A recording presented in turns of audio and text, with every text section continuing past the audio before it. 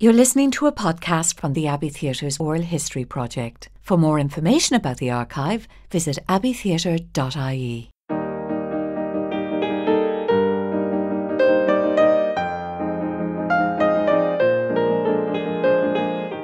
From the founding of the Abbey Theatre in 1904, and indeed earlier through the work of the Fay brothers, W.B. Yeats and Lady Gregory held an ambition to create a full time acting company. Many of the members of the original acting company spent a lifetime working at the Abbey Theatre. This podcast includes short excerpts from longer interviews. It recalls some of those actors and considers the impact of an acting company on the theatre's custom and practice. We hear first from actors Pat Laffan, Stephen Rea, Niall Buggy, and Kathleen Barrington who belonged to a generation of actors who performed at the Abbey Theatre in the 1960s. In particular, we hear recollections of actors Eileen Crowe, who worked at the Abbey Theatre from 1921 until 1970, and May Craig, who was part of the company from 1907 until 1968. I mean, when I joined first, May Craig was still on the books, and she had been in the original production of The Playboy of the Western World in 1909. And of course, Eileen Crowe was there. She'd been there from the 20s. She was very nice, Eileen. She was very reserved, but she was nice. Eileen looked after herself very well, and uh, but she got a lot to do, and she was pushed very hard a few times. You know, she'd get tired, but she never complained that I can remember. And she needed the income, I suppose. There was no pension scheme in those days. You'd have to be on the OAP if, if, you, if you left. But it was interesting to be there with people who had worked with Yeats and O'Casey and so on, and you could ask questions and, and so on. That was, that was interesting. People used to talk with great affection for F.J. McCormick, who died in 1948, that he was great company and he was a great company man and people learnt a great deal from him. Also, an old actor called Mick Dolan, uh, who, who, had been in the company forever. The, they would talk about them with affection and they'd remember things they said and pass them on, you know. I mean, one of the most extraordinary things for me, Stephen said, is there were two members of the original company when we were there, May Craig and Eileen Crowe and that was fascinating for me. Um, I was I was able to because Eileen was a lovely woman, was a very interesting yes. woman to talk to, and I was able to speak to her about as as would be our interest in the theatre was as regards the acting, as regards if there was a sort of a, an idea of acting or a thought about acting or because nobody ever nobody ever does speak about acting much. Mm. Eileen was able to tell me, speak to me a little bit. I mean, I didn't ask her too much, but I mean, a little bit about F.J. McCormick, who was considered, certainly by the Dublin public and by lots of people outside of Dublin, i.e., from England and other places in America, to be the greatest actor that he'd ever seen on the stage. I mean, he had an incredible reputation. Of course he did. But what you're saying about the two, um, May and Eileen, was, um, um, my little pretentious thing is, you know, Olivier could trace his line back to Burbage, who was yes. Shakespeare's actor. Yes, indeed. So we can trace our line back to the Fays. Indeed. Because we've been on stage with May and Eileen. Absolutely. So it's a shorter tradition, but Absolutely. it nonetheless is a tradition. And an, a singularly important one, you know. Absolutely, and also these were people who had worked with Yeats and who had, uh, in, in, in you know, well, this is what um, Ronnie Masterson told me that with Ria Mooney, you know Ria Mooney? Yeah. She was taught verse speaking by W.B. Yeats. Oh and when, when Ronnie was in the school, Ria Mooney was teaching them verse speaking, you know. In other words, all of this had died completely by the yeah. time we were, nobody was thinking of doing a verse play. Do you know what I mean? No, no, exactly. And so, can you imagine learning verse from somebody who'd learned at the knee of W.B. Yeats? I know, amazing. Amazing. Yeah. I mean, they were an extraordinary company of actors. Well, I suppose, leading, you'd say Eileen Crowe. I remember maybe I should say that if you weren't in a play, you had to, all the junior members came and watched rehearsals. And rehearsals were always on stage. There was no rehearsal room. So you sat in the stalls watching the rehearsal. And I remember Eileen coming into rehearsal. And she had her hat on. And she looked as if she was just going to take tea. But literally anything further from the truth. She was a meticulous actor. She prepared everything totally. Her comedy timing was absolutely exquisite. She said, I asked her one time, she was doing this, and she always managed to pour the cup of tea on this particular line. I said, Eileen, how do you do it? There wasn't time in rehearsal, literally, to do it. You found your spot, you knew your lines, and you, you know, and you answered your cues quickly. She said she used to rehearse at home to get it absolutely, precisely correct. So she, she was a wonderful actor. A marvellous comedy timing, just wonderful. I mean, people think of her always as the tragic Juno, but her amazing Madigan was dancing and delightful, lovely. Playwright Bernard Farrell also remembers Eileen Crowe and her husband F.J. McCormick. Eileen Crowe, I do remember very well.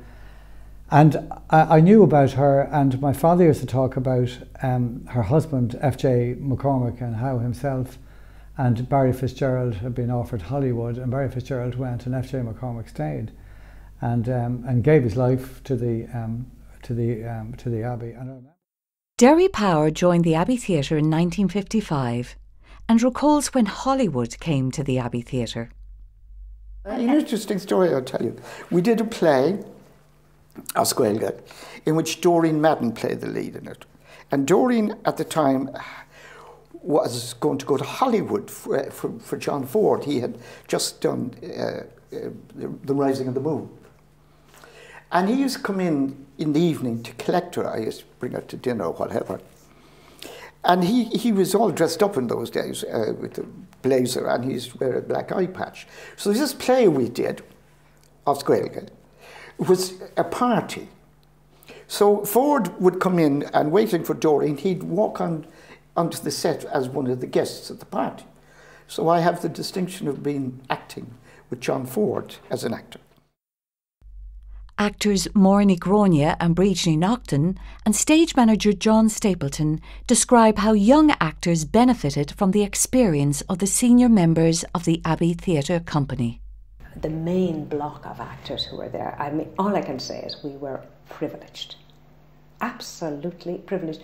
I think young actors, they think they're great now. I said, You didn't know Eamon Kelly.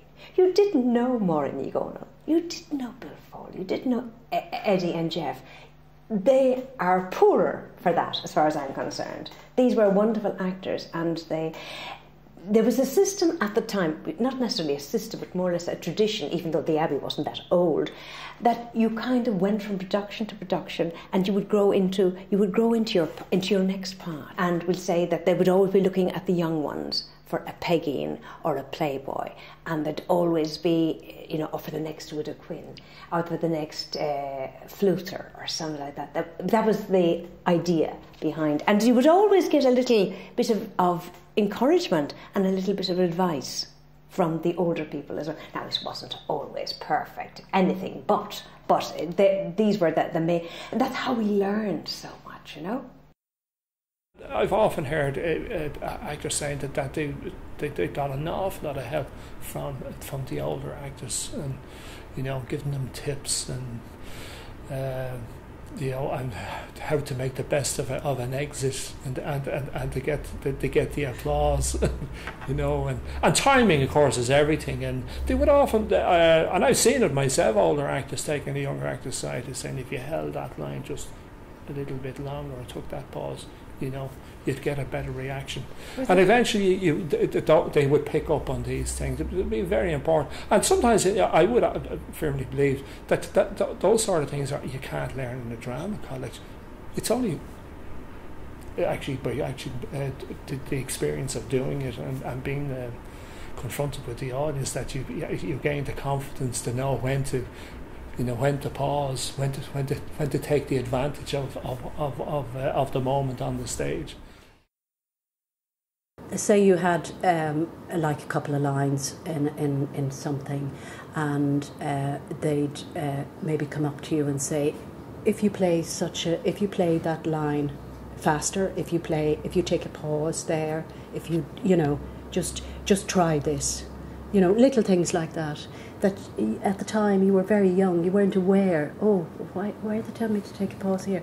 But you'd actually do it, you know, and it you could see either you'd get a laugh or you'd get, you know what I mean? You, you knew. So just little things like that, very generous with their time and their, their expertise, really. I wasn't aware of it at the time of how much I was learning watching them, but it's only later, you know, much later, uh, when I started kind of, you know, trying to you know what this all is about that I realized oh right okay and instinctively I, I still do it. I kind of go, oh, right, I wonder how they'd play that line.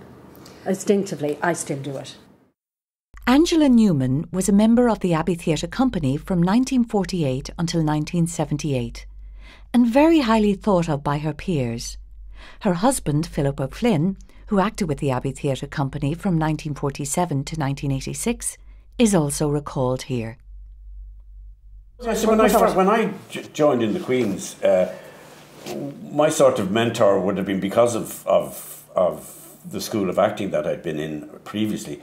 Bill Foley was a great friend and mentor. And then through him, I met uh, Philip O'Flynn and Angela Newman. And they were, but they sort of adopted myself and Donal McCann. We were like, they're adopted, Philip called us Biff and Bath, one side or the other. And uh, we used to go when they would go, go to, on holidays to the to the west of Ireland. They used to go to Spiddal, and we were given a, a sort of a subsidy to go and learn Irish every time the abbey closed for a month in June in those days. And we would go down to, uh, we were supposed to be going to Carraroe, where there was plenty of art, but we went to Spiddal because it was in striking distance of Galway, so we could get in at, out, out at night. so, so that, that sort of so. But we used to meet Philip and Angela in Con, in in Spiddal, and uh, yeah, they sort of uh, looked after us very well. And uh, because of that, you would be talking theatre and talking mm. parts. And Philip was was was was the he was doing Fluter and he was doing Seamus Shields at the time. He they were his parts, and he just talked to him about them, and you know, he yeah, it that that it it. it I suppose what I'm trying is, is it rubbed off. The whole theatrical thing rubbed off on you, yeah. Philip, Philip was a real, though Philip was only about eight years older than me, so he was only 28, but he was a kind of father figure to us. Uh, he'd been round the block and he knew it all. And he was a great one to give you advice. And indeed, when I played in the choir uh, playing the 60 year old at 21, uh, Philip was a great help. He, he, I actually went out to his house one evening and he went through the whole script, uh, line for line with me. Um, and, and he was marvellous. I don't think Angela Newman got enough credit. I really don't. I think she was just, she was a very special actor. She really was, you know. Um, she was amazing. She was just, she was just one of those actors that could play comedy, that could play tragedy, um, wonderful company member. I remember Angela, Angela and John Kavanagh playing in. We did a musical. We did quite a lot of stuff with music here, by the way. We had a wonderful musical, um, Inish, written by Fergus Lynn and, and uh, Jim Doherty. It was it was wonderful. But Angela was was was marvelous in that. She, she, she also played. I mean, she played in the the Greek. She played Oedipus with with Des Cave. Another actor who was generous with his knowledge was Ray McAnally, as remembered here by Pat Laffan and Bríd Ní Neachtain. If you were in a play with Ray McAnally, he was he was a good teacher. He'd pass things on, and um, Eddie Gold and I suppose Bill Foley. They would, yes. They, the other actors would would uh, would they were generous. Actually, they were they, they, they weren't self centered, and if they could help, they would. Ray was a perfectionist. Ray would come to rehearsals, everything worked out in his head you know, which sometimes wouldn't agree with the director. And that's where problems started. Ray would have seen it lit. Ray would have seen it move. You know what I mean? He'd have, you know, that that can, you know, that can be a problem. So that's I, that's where the difficulty with with Ray. But he he was fantastic again, and he would give voice lessons and stuff like that. I remember going to to Ray, and uh, yeah, at six o'clock, yeah, because uh, eight o'clock was showtime at the you know. Cyril Cusack worked at the Abbey Theatre for over 50 years, from 1932 to 1989. Des Cave performed alongside him in The Shaughraun. Well, that was an amazing production because I was playing Robert Ffolliott, uh, the Fenian hero on the run. I just landed back from Australia and Cyril was playing the Shaughraun and he was a good 20 years too old for the part. He, well, he, was, he wasn't, he was 40. 45 or something, but, uh, when, uh, but he's my friend, and I'm 19 or 20 or 21. And uh, I always remember with Cyril, and Cyril, I got him, we were doing marvelous rehearsal and various lovely stuff and things. And uh, the opening night, uh, we, we were doing a front of cloth, like the old melodrama. The cloth came in and you do the scene in the front of the cloth. And he was going, now I said, you stand up there, Des, and I'll stand down here. I'll stand down here and uh, we'll play it that way. And uh, on the opening night, as I say, no previews, so on the opening night, he just turned to the audience and delivered all the lines to the audience and left me upstage looking at the back of his head. I saw, I was taught a lesson. Yeah. So somebody said, "Why didn't you just go downstage of him?" I said, "Well, I didn't know that. I don't know how you do that sort of thing." Oh, that's that's a what that's a you know that, that's craft. I said, "No, we won't say tricks. We'll say craft." And you move, you just if you're being upstaged, you just move down. but that's just keeping you on your toes. Niall Buggy also remembers Siobhan McKenna. And her sense of humour. Sorry, I have to speak about her sense of humour because what I miss most about, about Siobhan really is her sense of humour, her laughter, the sound of her laughing. And um, indeed, she was a terrible corpse as she laughed on stage.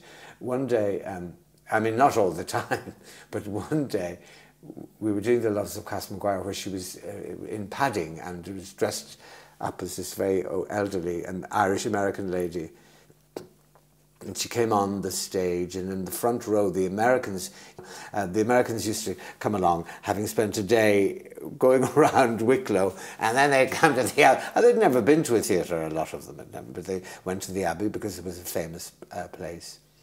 And there were two ladies sitting down, and Siobhan uh, came on the stage, and she spoke in this sort of a raucous sort of a voice. And this, one of the women turned to say, Oh my God, I remember Siobhan McKenna in New York, and boy, has she deteriorated. so Siobhan turned, her back to the audience and roared with laughter. I mean, just roared, roared. Yeah, yeah. yeah. We finish with an impression of actor Máire Ní Dhomhnaill who joined the company in 1943 and is fondly remembered here by Stephen Rea. Well, I remember once seeing, uh, being in a pantomime here, the Irish pantomimes, and Maura, I can't remember what she was doing, but she was getting laughs on stage, you know. And the audience, she just got them going. They were laughing and yeah, laughing. Yeah. And she came off stage, and I was standing in the wings, and she was just laughing herself. and she was looking at me, just laughing with yeah, the sheer joy of doing it and getting that audience going. It was fantastic. Yeah.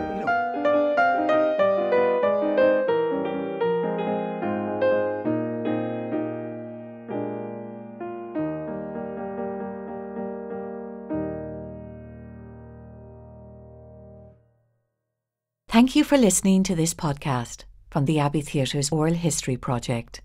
For more information about the archive, visit abbeytheatre.ie.